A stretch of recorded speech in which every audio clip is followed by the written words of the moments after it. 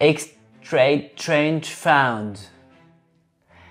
Exchange Trade Fund. Bon, ETF. Qu'est-ce que c'est qu'un ETF Nous allons voir cela ensemble. Bienvenue à toi, ici GG La Gestion, bienvenue dans cette nouvelle vidéo, j'espère que tu vas bien. Bon, tu vois, tu l'as compris, le mot est un petit peu barbare. On va utiliser bien sûr l'acronyme ETF ou bien Tracker. Qu'est-ce que c'est qu'un ETF Nous allons bien sûr voir cela dans la vidéo.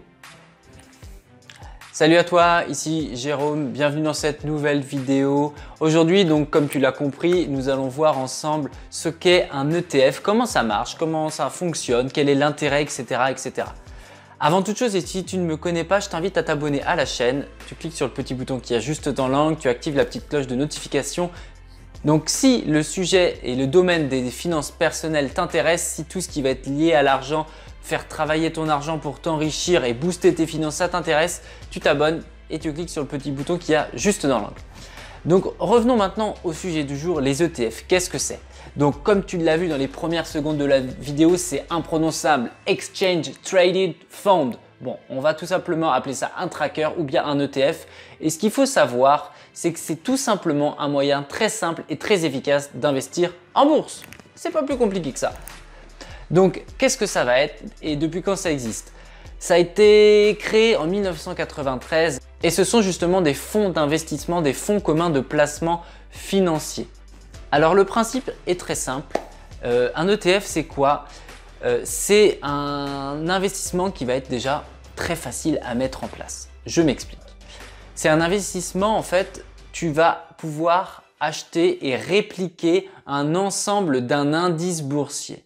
Si par exemple, admettons, tu es, attiré par le, marché américain et que tu veuilles euh, acheter justement les 500 plus grosses entreprises américaines, imagine un petit peu le temps que ça va te prendre d'acheter, de revendre, etc. etc. C'est juste ingérable ou alors faut, avoir, faut être très organisé et avoir beaucoup de temps. Le principe d'un ETF, c'est quoi? C'est qu'avec, à travers un ETF, tu vas acheter un pourcentage justement de toutes les actions euh, de l'indice que tu achètes.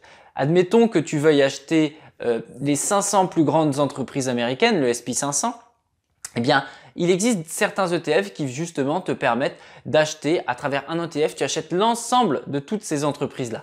Donc c'est quand même génial parce que ça permet justement de te diversifier et tout cela à moindre coût, mais ça on va en reparler à la fin de la vidéo.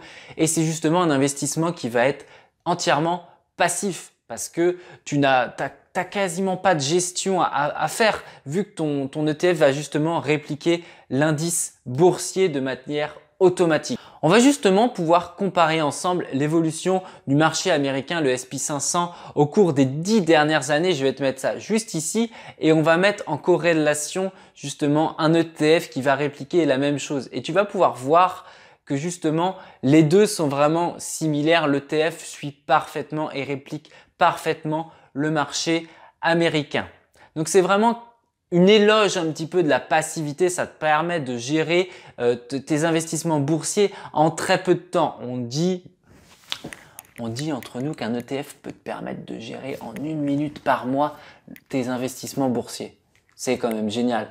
D'autant plus si tu es novice, si tu ne connais pas encore tout ça vraiment bien, si le domaine de la bourse c'est vraiment quelque chose qui te fait peur. Aujourd'hui, un ETF, ça va vraiment te permettre de mettre les pieds à l'étrier de manière très simple, très facile, comme je viens de te l'expliquer.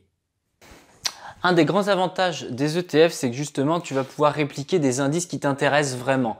Tu peux sélectionner un domaine, un secteur économique qui t'intéresse. Par exemple, si toi, tu tu penses que l'automobile c'est un secteur d'avenir, eh bien tu peux choisir un, un, ETF justement spécialement sur le secteur de l'automobile.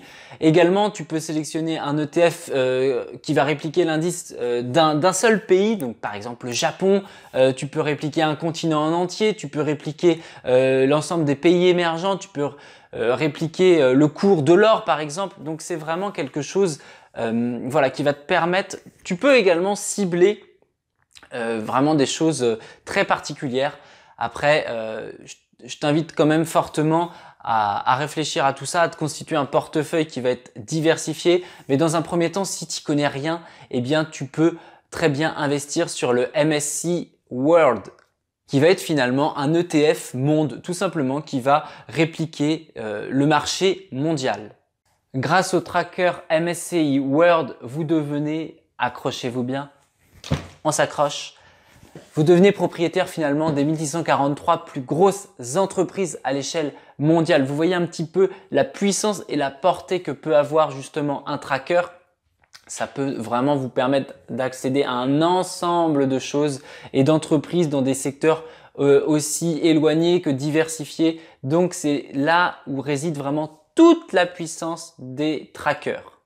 Alors, un autre grand avantage des ETF, c'est son prix finalement. C'est que ça coûte pas grand chose. Les transactions, euh, souvent les montants, c'est aux alentours de, compris entre 0,2 et 0,5%. Donc c'est juste infime par rapport à ce qu'on peut parfois avoir quand on passe des ordres euh, sur des actions en direct. Comme je te l'ai expliqué, bien sûr, ça permet justement de diluer le risque et ça, c'est quand même quelque chose qui est, important, notamment si tu es aujourd'hui novice, euh, si tu n'as pas envie de te planter, si tu n'as pas envie d'investir sur une action, je, te dis n'importe quoi, tu investis sur... Euh, T'investis sur Air France, Air France voilà qui se casse la gueule et tu te dis bah c'est peut-être le moment d'acheter etc.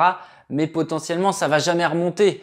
Donc voilà, si tu as peur un petit peu de tout ça, euh, bah, un, ETF va justement te permettre de, mettre les pieds, de te mettre les pieds à l'étrier et de diminuer et de diluer tes risques dans la mesure où tu investis sur un ensemble d'entreprises, sur un ensemble de secteurs d'activité. Voilà, euh, c'est pour ça que par exemple l'indice euh, World est quelque chose de très intéressant au tout début, ou l'indice sur le SP500 également est très intéressant parce que dans une moindre mesure, avec peu de connaissances, tu peux quand même accéder à des indices de croissance qui sont plutôt sympas. Alors tu peux te demander, ouais GG, mais d'accord, si on investit sur un ETF et que c'est des entreprises mondiales, comment ça peut passer dans un PEA bah, c'est une excellente question et il faut savoir qu'il existe justement des ETF euh, e qui sont éligibles au PEA, mais tout ça, on en reparlera dans une prochaine vidéo. Je vais justement te faire une vidéo euh, dédiée pour bien pour t'aider à choisir ton ETF justement. Si tu veux en savoir plus sur euh, les ETF, tu as cet excellent livre euh, d'Edouard euh, Petit qui s'appelle Épargnant 3.0. Il a un blog également du même nom. Ça te permettra de comprendre vraiment bien comme il faut euh, ce qu'est un ETF. Bon, bien que je te l'explique dans la, dans la vidéo, mais si tu veux approfondir le sujet, euh, puis même d'une manière de générale, c'est un très très bon livre qui va aborder justement le domaine de la bourse et le domaine et l'intérêt justement de faire appel à des ETF pour investir. Donc voilà.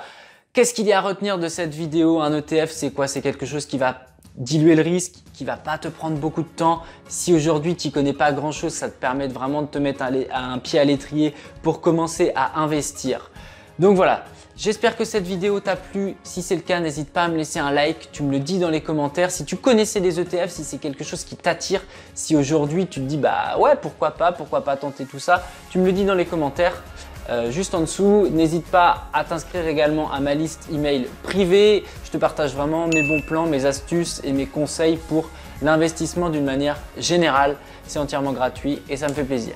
Je te dis à très très bientôt dans une prochaine vidéo. C'était GG la gestion. Porte-toi bien. Ciao